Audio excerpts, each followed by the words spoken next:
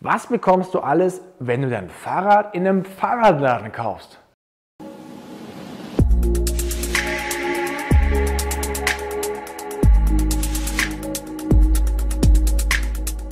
Hi, mein Name ist Markus vom Fahrgeschäft Fitbikes und ja, ich habe einen Fahrradladen. Und der Titel von dem Video ist ja, was bekommst du alles, wenn du dein Fahrrad in einem Fahrradladen kaufst? Ja, ein Fahrrad, richtig. Aber ist das alles? Also mal kurz überlegen, was eigentlich die wahre Serviceleistung eines Fahrradgeschäftes ist. Wir haben sehr häufig den Fall, dass wir auf das Fahrradgrund reduziert werden. Aber lass uns mal anschauen, was alles passiert, damit du am Ende mit deinem Fahrrad fahren fahren kannst, was du bei uns gekauft hast. Also Schritt Nummer eins: wir treffen für dich eine Vorauswahl. Ja, das heißt, dass wir jedes Jahr auf die Messen gehen, sowohl auf die Eurobike als auch die Hausmessen auch vor Ort. Und wir überlegen uns, wie wir aus dieser mega Auswahl, die der Markt bietet, für unsere Kunden das passende Fahrrad aussucht. Wir haben, keine Ahnung, 1000 Marken, 50.000 Fahrräder zur Auswahl. Und wir hier bei Fitbikes haben uns auf Simplon und Stevens festgelegt. Warum? Weil es gute Marken sind, weil sie gute Räder bauen und weil die Reklamationsrate unter 1% ist und das Feedback gigantisch gut. Also haben wir eine Vorauswahl für dich getroffen. Das reicht aber noch nicht. Wir müssen im Vorjahr, also 2017 für 2018, bestellen, was wir denken, was wir im Jahr 2018 verkaufen wollen. Das heißt, wir müssen definieren, welches Rad mit welcher Rahmengröße zu welchem Zeitpunkt bei uns im Laden ist. Also sein sollte. Ja. Ähm, manchmal können wir einen Teil noch nachbestellen, aber dieser Teil ist nicht garantiert. Es kommt darauf an, wie die Lager gefüllt sind, wie etwas abläuft. Ja. Aber wir müssen schon mal vordefinieren, ähm, welche Räder zu welchem Zeitpunkt zu uns in den Laden kommen. Das ist echt eine Menge Arbeit. So, dann kommt Winter und äh, dann, bereiten, dann kommen die ersten Fahrräder, die bereiten wir alle vor. Und ein Fahrrad kommt nicht so an, wie es jetzt hier steht, sondern das kommt im Karton, teilweise auseinandergebaut. Das heißt, wir müssen dieses Fahrrad komplett zusammenbauen und ähm, dann steht es hier im Laden. So, jetzt kommst du in den Laden rein, hast du es irgendwie online gefunden oder der Nachbar hat gesagt, das ist ein guter Laden, wo du hingehen kannst oder wie auch immer äh, und bist hier im Laden. Normalerweise sind die Leute bei uns im Laden die Kunden, die Hilfe brauchen beim Fahrradkauf. Ja, das heißt, die eine gewisse Vorstellung haben, was wir mit dem Fahrrad machen wollen, aber jetzt jemand brauchen, der ihnen hilft, durch dieses Fahrradsortiment sich durchzukämpfen. Dafür sind wir der perfekte Ansprechpartner. Das heißt, wir suchen jetzt gemeinsam dein passendes Fahrrad raus. Das kann recht schnell gehen, wenn die Vorstellungen klar sind. Das kann aber auch mal so drei, vier Stunden über mehrere Termine dauern. Ähm, vielleicht müssen wir auch noch ein bisschen recherchieren, wenn du diese besondere Vorstellungen hast. Aber auf jeden Fall haben wir gemeinsam ein bisschen Zeit ähm, verbracht. Dann ähm, machen wir sogar den Fall, dass wir dich komplett dreidimensional ausmessen und die komplette Ergonomie erfassen, ja, um dieses Fahrrad dann auch für dich perfekt einzustellen. Das machen wir alles. Dann gibt es eben den Punkt, wo du sagst, okay, das hätte ich gerne und jetzt fängt es an zu diskutieren, weil der Kunde ist ja gewohnt, dass er jetzt noch irgendwie einen Preisnachlass bekommt. Ja, wer, wer nicht handelt, ist doof und so weiter und so fort. Geiz ist geil. Das heißt, jetzt wird über den Preis diskutiert, weil dieses Fahrrad machen ja andere Händler auch mit 5, 10, 15 Prozent und im Internet ist es eh viel günstiger. Also jetzt wird verhandelt. Manchmal mehr, mal weniger. Meistens einigt man sich irgendwie und dann hast du die Entscheidung getroffen, ein Fahrrad zu kaufen. Wenn du das äh, entschieden hast, dann wird das Fahrrad für dich fertig gemacht. Das heißt, sehr häufig kommt dann Zubehör ran, andere Reifen, Schloss, ähnliches. Das wird meistens alles kostenlos montiert. Das heißt, wir haben jetzt schon Zeit verbracht, das Fahrrad überhaupt auszuwählen, Jetzt muss noch zusammengebaut werden, jetzt muss Zubehör dran gebaut werden und dann ist das Fahrrad abholbereit.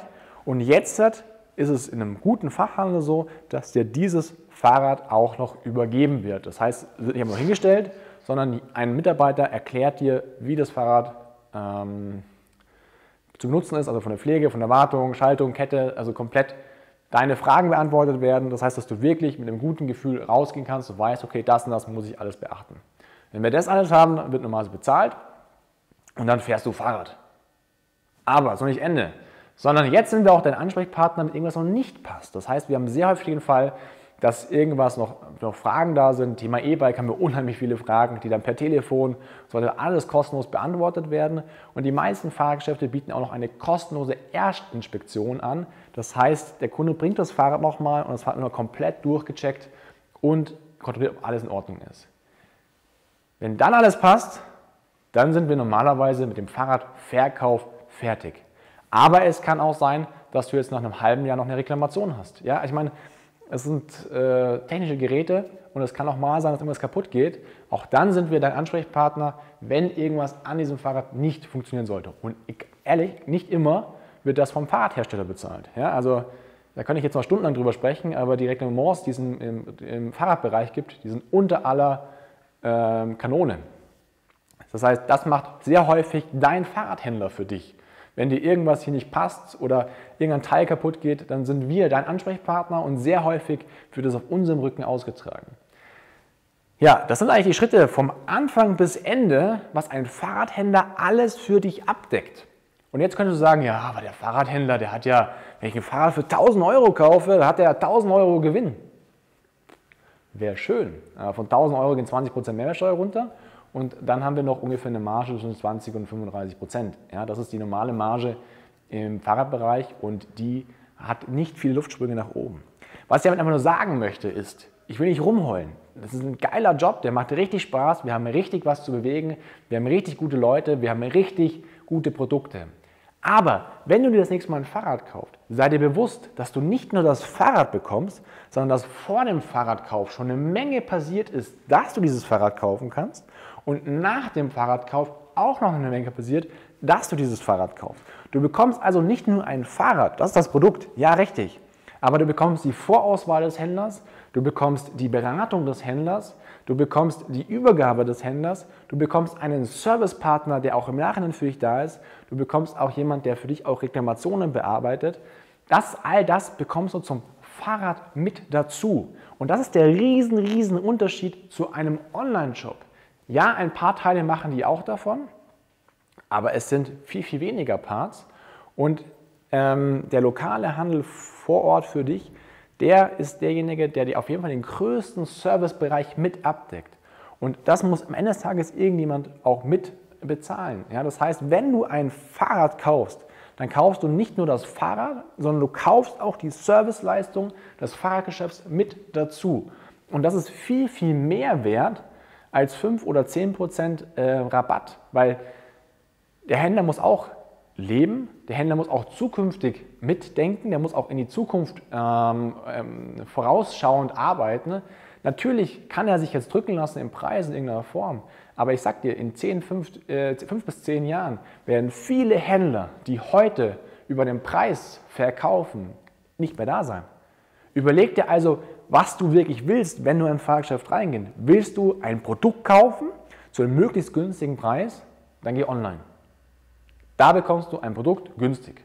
Ja? Du bekommst keine Serviceleistung, aber du bekommst ein Produkt günstiger. Willst du ein, ein Produkt mit Serviceleistung, dann kauf zum normalen Preis. Denn du bekommst nicht nur das Produkt, sondern du bekommst vorher und nachher viel, viel Service, viel, viel Beratung obendrauf und du sicherst auch eine langfristige Zusammenarbeit mit deinem Fahrradhändler. Ja, das war jetzt für meine Verhältnisse fast ein langes Video, aber ich will dir einfach nur sagen, was für riesen Benefits du hast, ähm, wenn du lokal kaufst. Und ich will dir auch zeigen, was ein Händler alles auf, auf sich nimmt sozusagen vor und nach dem Kauf, damit du mit deinem Fahrrad richtig, richtig viel Spaß hast. Und jetzt bin ich natürlich gespannt, was du in die Kommentare schreibst, weil das Thema ist kontrovers. Jetzt könnte man sagen, hey, der der Markus heult wieder nur rum, der arme Fahrradhändler. In Wahrheit fahren ja auch eh alle Porsche und Ferrari ja, und machen sich einen schönen Tag, weil ein Fahrradhändler stinkt reich. Oder man könnte sagen, okay, er hat recht, äh, Fahrradhändler ähm, aus der Realität machen das mit sehr, sehr, sehr, sehr, sehr viel Überzeugung als Gutes zu tun. Ich kenne viele Fahrradhändler, die 100 Stunden und mehr seit vielen, vielen, vielen, vielen Jahren arbeiten und du willst den Stundenlohn gar nicht wissen. Also, kontroverses Thema, Schreib es unten in die Kommentare rein, was ist deine Meinung dazu? Bist du der Meinung, dass ein Fahrradhändler komplett überbezahlt ist, nicht so rumheulen soll? Oder einfach mal besser mit seinen Lieferanten verhandeln soll? Kleines, kleiner Insider am Rande. Ähm, oder äh, bist du der Meinung, dass ein Fahrradhändler einen richtig guten Job macht? Schreib auch gerne rein, wenn du einen Fahrradhändler hast, wo du sagst, der ist, macht einen mega Job. Schreib auch gerne rein, wenn du lieber online kaufst und warum du lieber online kaufst. Ähm, ja, ansonsten, wenn dir das Video gefallen hat, dann findest du irgendwo einen Gefällt mir-Button und natürlich einen Abonnier-Button. Und ja, lass uns einfach darüber diskutieren. Ich freue mich drauf. Bis dann.